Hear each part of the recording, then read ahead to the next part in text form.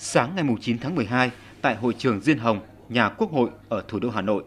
Tổng Bí thư Nguyễn Phú Trọng chủ trì hội nghị cán bộ toàn quốc quán triệt triển khai kết luận và quy định của Ban chấp hành Trung ương về công tác xây dựng chỉnh đốn Đảng do Bộ Chính trị, Ban Bí thư tổ chức theo hình thức trực tiếp kết hợp với trực tuyến. Hội nghị được kết nối trực tuyến với các điểm cầu các tỉnh và các địa phương trong cả nước. Dự tại điểm cầu huyện Định Hóa có các đồng chí lãnh đạo huyện ủy, Hội đồng nhân dân, Ủy ban nhân dân, Ủy ban Mặt trận Tổ quốc, các ban ngành đoàn thể và các cơ quan đơn vị trên địa bàn.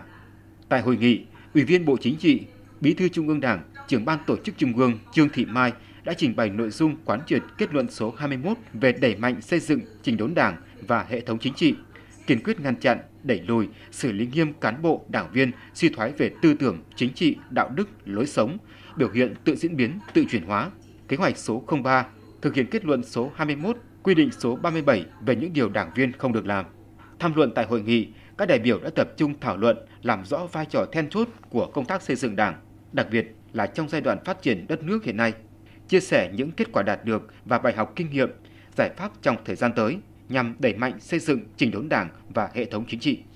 Phát biểu chỉ đạo hội nghị, Tổng Bí thư Nguyễn Phú Trọng nhấn mạnh và làm rõ ba vấn đề, trả lời cho ba câu hỏi. Thứ nhất, lúc này chúng ta từng bàn nhiều, làm nhiều về công tác xây dựng chỉnh đốn Đảng. Vì sao lần này Trung ương lại tiếp tục bàn và đưa ra nghị quyết về vấn đề này?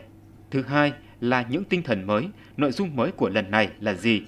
Và chúng ta phải làm gì và làm như thế nào để thực hiện có kết quả nghị quyết hội nghị Trung ương 4 khóa 13, biến nghị quyết thành hiện thực sinh động. Kết luận hội nghị, Tổng Bí thư Nguyễn Phú Trọng cho rằng những nội dung trình hội nghị cán bộ toàn quốc hôm nay là những vấn đề rất cơ bản, hệ trọng và bày tỏ tin tưởng với truyền thống và bản chất tốt đẹp của Đảng ta, với quyết tâm chính trị rất cao của toàn Đảng, toàn hệ thống chính trị, lại được nhân dân đặt nhiều kỳ vọng, hưởng ứng, đồng tình ủng hộ. Nhất định chúng ta sẽ vượt qua mọi khó khăn, thực hiện thắng lợi kết luận quy định của Hội nghị Trung ương 4 khóa 13 và các nghị quyết quy định tạo bước chuyển biến mới trong công tác xây dựng chỉnh đốn Đảng, làm cho Đảng ta ngày càng trong sạch, vững mạnh toàn diện, thực sự là đạo đức, là văn minh, xứng đáng là đội tiên phong của giai cấp công nhân, nhân dân lao động và của toàn dân tộc.